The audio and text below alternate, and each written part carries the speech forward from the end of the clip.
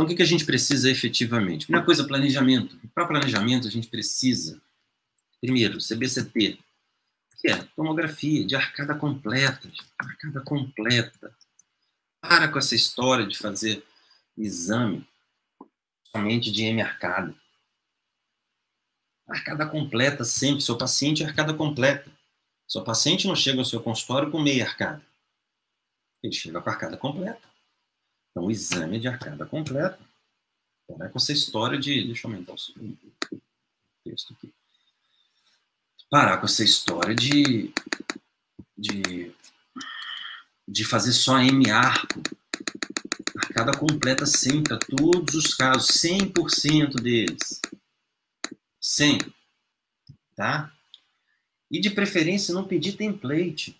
Não pede template, não. Vai abrir, um, vai abrir tomografia dentro de um software de, de visualização de tomografia. Vai aprender a ler tomografia. Vai posicionar um implante na tomografia previamente para você entender, pelo menos, como é que é um posicionamento correto dentro de uma tomografia. Entendeu?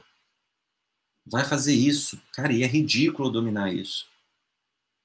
A radiologia manda para gente o, o, o, software de planejamento ou visualizador, a gente consegue abrir ali e posicionar o implante. Isso dá muito mais clareza, visualização. A gente não está acostumado a fazer isso. Está acostumado a receber o template da, da radiologia. Tá? E somente o template da radiologia não resolve.